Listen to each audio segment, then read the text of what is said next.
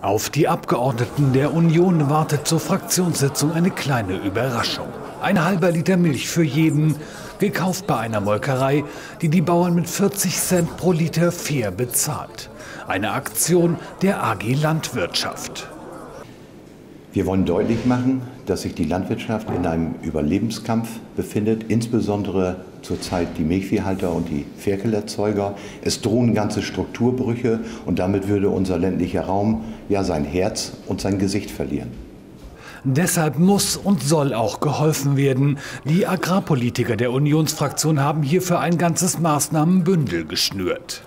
Also wir geben der gesamten Branche, der gesamten Milchbranche ein Instrument zur Verfügung, in dem sie selbst ihre Mengen besprechen und reduzieren können.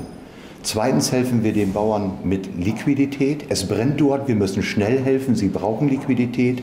Und drittens, nach vorne gerichtet, wollen wir ihnen Steuererleichterungen zukommen lassen, damit sie die Kredite auch besser wieder zurückzahlen können.